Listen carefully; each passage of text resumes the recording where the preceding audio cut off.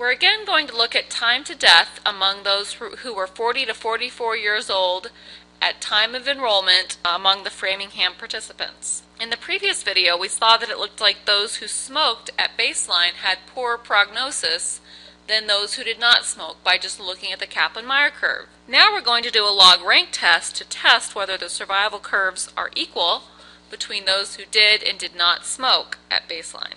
We're again going to restrict to those 40 to 44 years old at enrollment. We use the stset command to declare our data to be survival time data. To do the log rank test, we're going to go Statistics, Survival Analysis, Summary Statistics, Tests and Tables, and select the option Test Equality of Survivor Functions. The command to do this in Stata is called STS test. The variable we're going to test the equality between is this cur smoke 1 variable. That's our stratifying variable. And we're going to use the first option here, which is the log rank test.